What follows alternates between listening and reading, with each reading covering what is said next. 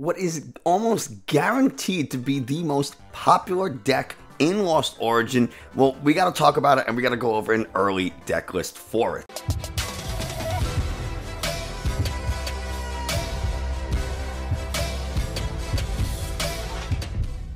Hey everybody, Nick from Card TCG, and today we're going to be looking at what is very likely going to be the biggest and most popular deck coming out of Lost Origin, despite the fact that it lost in a uh, Twitter poll and Insta, or uh, uh, whatever poll, Twitter and YouTube poll that I had done. We are, of course, talking about Giratina V Star. This card looks really, really good. And there's a couple of different ways it can be built. We're going to be focusing on one build today. Maybe in the future we'll do a second build, but we'll talk about the one that I think, I don't know if I, if I this is so tough. I don't know if I like this version more than another or not, but we're going to talk about it and we'll, we'll talk about some of the different text that we can put into it. But before we do, if you haven't already, do me a favor, hit the subscribe button, leave a like and a comment. Those things tell YouTube this is a good channel and other people should watch it. This is just a template. This is a place for you to say, okay, I like this. I got this idea. I'm going to change XYZ. This is not by any means a final list. This is just a jumping in point. If you're interested in Giratina V-Star,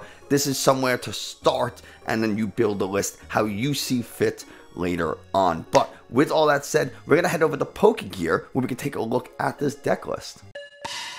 Giratina V 220 health dragon type Pokemon, which means no weakness, no resistance. For treat cost of 2, gets free retreat with Air Balloon.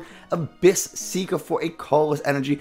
Look at the top 4 cards of your deck and put two of them into your hand. I just hit my desk pretty hard. And the other two go in the Lost Zone. What is the Lost Zone? We covered it previously, but basically it's just an extra, almost like exile or banished section. Uh, it's not the discard, so cards that would normally go into the discard go into the Lost Zone. It's a second discard, but cards do not come back from the Lost Zone. You can get cards back from the discard with things like Ordinary Rod, Melanie, Raihan, stuff like that. Once it goes into the Lost Zone, it is there for the rest of the game. Why do we want to put cards in the Lost Zone? Well, we have card effects that that do things when we put more and more cards into the Lost Zone. So Abyss Seeker is a pretty good attack. We also have a Shred attack. Grass, Psychic, and Colorless does 160 damage. Ignore effects on your opponent's active Pokemon. So you can hit through Miltank, you can hit through Duraludon if you have special energy for some reason. You can hit anything you want with uh, with the actual Shred attack. Now, what's interesting is that I don't mind Giratina V having Shred because it's only a 220 health Pokemon, so it's pretty easy to knock out with like Trinity Nova, Palkia can knock it out, Mew can knock it out. Uh, it's it's really not that bad versus like something like Mew VMAX with 310 HP, free retreat, and all this other stuff that Fusion Strike Pokemon have. So uh, this and also being a three cost attack is a lot and it's a multicolor attack requirement, unlike Max Miracle that can just for two Fusion Strike energies and you can get that in a single turn. This you can get in a single turn too, but it takes a little bit more than just simply finding Elesa Sparkle, say. So, uh, Shred on this really isn't that big of a deal. We do really want to attack with our Giratina V-Star. Why would it show? It's like the card I want to show off the most doesn't want to show. Giratina V-Star, 280 health, Lost Impact for that same Grass Psychic Colorless energy attack cost. 280 damage, put 2 energy attached to your Pokemon in the Lost Zone. Now, what's really important to note is that it does not say where those energies come from. So you can have a benched Pokemon with two energies on it, and you can use Lost Impact and take energies from any Pokemon you want and put them into the Lost Zone. Now, it, it also doesn't say this I don't I want to see the full card. So I don't know if it's put two energy attached to your Pokemon in any way you want in the Lost Zone, or if it has to be two Pokemon, two energy from the same Pokemon. Uh, this translation is a little ambiguous to me, so we'll have to wait to see what the real card says before we uh, before we make any judgments on that. Now, one of the things that to note is that this is a Lost Zone or Lost Zone engine build, and you could pair this with Arceus. And now Arceus is a really nice combo for this, for that Lost Impact attack, because you use Trinity Charge or Trinity Nova to power up a Giratina V-Star, super, super easy, turn 1, turn 2, no problem. Then, you can use that double turbo energy to get rid of. You can discard it after attacking with Lost Impact, and you're only discarding one energy card versus having to discard two. So, and then, you know, you can attack with Giratina V-Star, then switch back into your Arceus, attach DTE, do it again. Like, there are things that we can do to keep attacking with Giratina V-Star with the Arceus build that you, is a little bit harder to do with the Lost Zone engine build. But we'll talk about the Lost Zone today because it's the newer mechanic and I think it's really interesting. We do have a V-Star Power Star Requiem for a Grass and a Psychic Energy. If you have 10 or more cards in the Lost Zone, your opponent's active Pokemon is just knocked out. You swallow them up, you suck them into the Shadow Realm, you... Uh, yeah. oh, man. Uh, I was gonna... Moving on, you just knock out your opponent's active Pokemon, which means you can use something like Lost Impact, hit 280 on an Arceus V-Star, and take two prizes, and you can do it again, and then it doesn't matter if they have Big Charm, Lake Acuity. This is really nice for things like Goodra V-Star, where they use Iron Rollout, and they have Lake Acuity in play, and they have whatever in play, uh, Radiant Gardevoir, and they use Fantina, and they're taking 240 less damage, which means your Lost Impact would do 40 damage, maybe 70 if you have a choice belt. It's not really a lot. And then you have to discard 2 energy, but Star Requiem says, well, it doesn't matter how much health you have or how much damage reduction I, you know, I would deal. I'm just going to go ahead and knock you out. So really, really cool V-Star power. Interestingly, we are running this with Leafeon V with the Greening Cells ability because we're able to search our deck for our grass energy and attach it to one of our Pokemon. So this is a really nice way of just going okay, well, I'm going to go first, or even if I go second, something like that, I can uh, attach an energy to a Pokemon, then use Greening Cells to accelerate an energy to another Pokemon. Uh, maybe I don't want to use Greening Cells if I'm going second, and I want to use something like Abyss Seeker. Uh, you know, you have your options, but Leafeon V is a nice way to accelerate some energy. It does have 200 health, so, it, you know, it, it can be a little bit of a bench liability. We do have a V Star, to evolve, and uh, 260 health means it's really not going to get one shot by anything. Leaf Guard you can attack with. You can actually use this Pokemon to attack with. Hits for 180 damage, and then you're going to take 30 less during your opponent's next turn. This is not a bad option to attack with, especially with things like Darkrai V-Star running around, Galarian Moltres, and things, just random things that are weak to grass. So, not a terrible thing. And you do have an, uh, V-Star power with this as well. Ivy Star lets you, it's a boss's orders. You choose one of your opponent's bench Pokemon and bring it into the active. Really nice. Uh, in case you are not using Star Requiem for the game, like you don't need to that game or whatever, you can use this V-Star power. Remember, you can only use a single V-Star power during the game. You can use Ivy Star, pull up a Pokemon, and then hit into it really hard with Giratina V-Star and just take a big KO. So that's really cool. You can use this from the bench. You don't have to have it in the active. Really, really nice. We do have some draw capability with Crobat V. Play this card from your hand to draw up to six cards in your hand. A little bit of extra draw with Radiant Greninja. You can discard an energy card from your hand to draw two cards. Alternatively, you could run Radiant Hawlucha because now Giratina V-Star does 280 damage. Then you have a choice belt. You're going to be doing 310. Hawlucha will let you do 340, which is enough to knock out any Pokemon VMAX. And between things like Ky uh, Kyurem VMAX, Ice Rider VMAX, Flying Pikachu VMAX, you may want to be able to hit those upper tiers, that, that 330, 340 range, uh, to take one shots on VMAXs. So something to consider, especially if you're running maybe like the Arceus build, something like that, where you don't need the draw as much because you can use Starbirth to find the combo pieces. But anyway, speaking of combo pieces, we have Comfey. Comfy here is a new card with Lost Origin. Flower picking, once during your turn, if this card's in the active, you may look at the top two cards of your deck. Choose one to go in your hand, one goes in the Lost Zone. Easy. We're going to cycle through Comfeys as best as we can using things like Escape Rope, Switch, Scoop Up Nets, Air Balloon. All those cards are really designed to get Comfeys in and out of the active so that we can keep using that flower picking. Now, we have a Cramorant in here. Cramorant with the Lost Supply ability. If four cards or more are in the Lost Zone, you can ignore the energy requirements on this card to attack. And this is really, really nice, especially going second, because we can use something like Comfey a couple of times. We can use Colress's Experiment, which is a really good supporter we'll talk about in just a moment. And then we, next thing you know, we got uh, four cards in the Lost Zone. We hit with Cramorant, we're doing either really good chip damage, we're knocking out a Sobble, a Bidoof, something like that. So really nice way to just get some easy damage in there.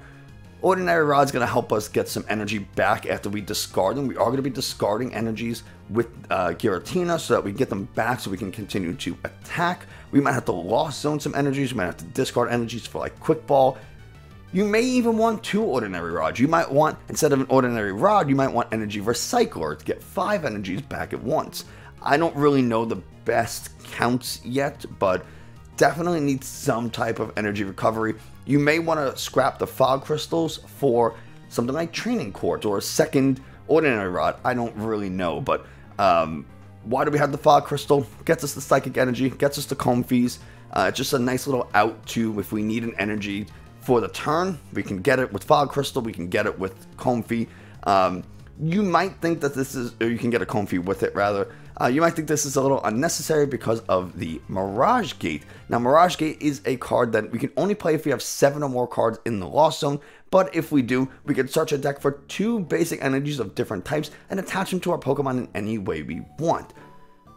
This is good, but again, we need seven cards in the Lost Zone and we have to have Mirage Gate. So, you know, it's nice, but now we can use Mirage Gate to power up a V or a V Star, and then Fog Crystal for another Psychic, and then attach and attack with Giratina V Star. So it's a way to just kind of guarantee that you're getting a Comfey a little bit earlier, guarantee to get an energy a little bit earlier. Maybe you just want to search an energy to discard with Radiant Greninja and then draw two more. It just it opens up a little bit, I think, uh, but it might not be super necessary. We have some Pokemon search in the forms of Ultra Ball and Quick Ball. We got, um, I talked about the switch, scoop up escape ropes, the air balloons. Those are really just to cycle through Comfeys and maybe switch into a Giratina or a Leafeon that's powered up and ready to attack after we discard energies with a different Giratina or something. Uh, Choice Belt to let us do a little bit more damage. We don't, we probably don't need it outside of like Arceus and Teleon decks.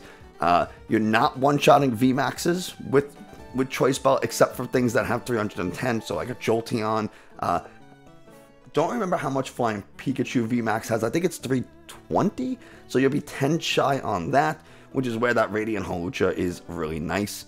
Uh, Raihan, cards get knocked out, especially when we're cycling through Comfeys. Uh, they're likely to stay, especially in the early game, they're likely to stay in the active, so we can...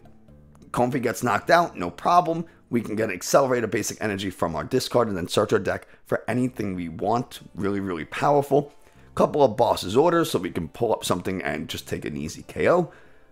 Thorton here. I debated on whether to put Thorton. Why is this doing this to me?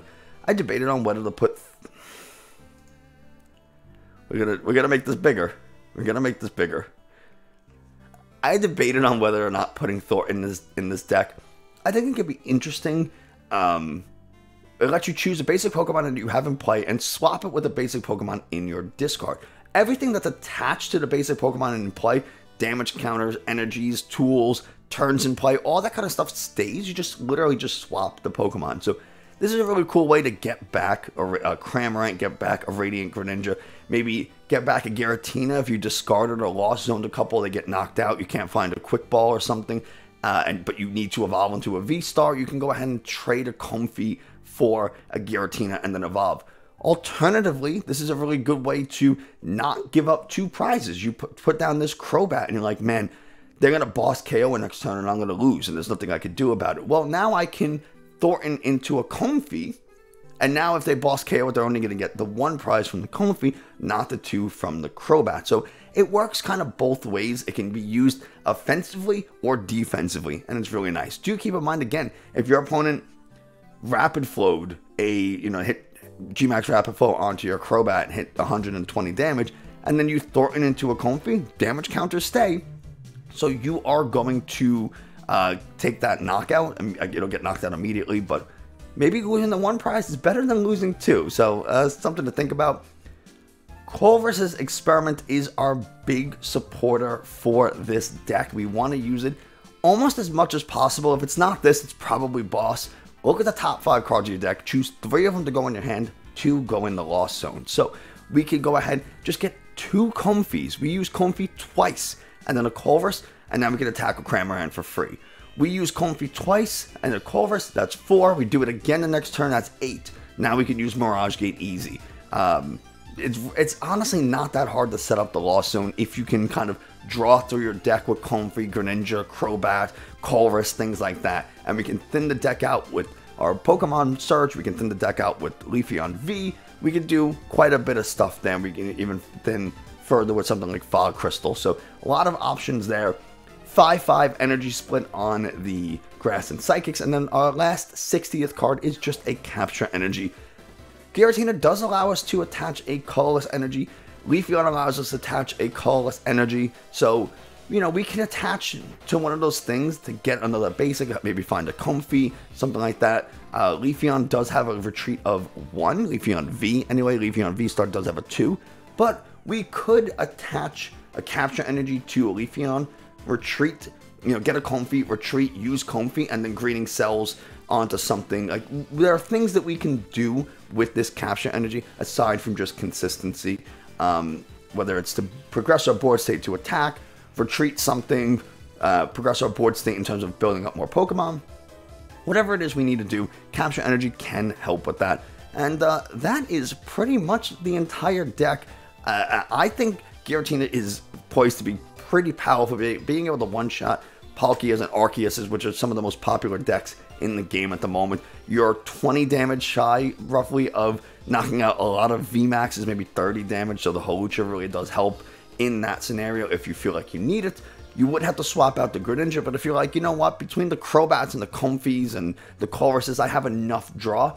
I don't need the Greninja. I don't want to waste my energies like that. You can go ahead and replace it with the Hawlucha, but yeah, that's that's the whole deck, and I want to hear your thoughts, so make sure you tell me in the comment that's going to do it for us today. Thanks so much for watching. I hope you enjoyed. Found a little informative. Again, let me know your thoughts on this Giratina deck in the comments below. I'm, I really am curious. And uh, yeah, that's going to do it. As a reminder, I will be on vacation next week. I mean, by the time, if you're watching this, I don't, you probably know I'm going to be on vacation. But on the off chance, I will be on vacation next week. So there won't be any videos. I apologize for that. I'm going to be hiking I will not be near a computer, so uh, couldn't get anything out even if I wanted to. But yeah, that's going to do it for us today. Thanks so much for watching, and I will see you next time.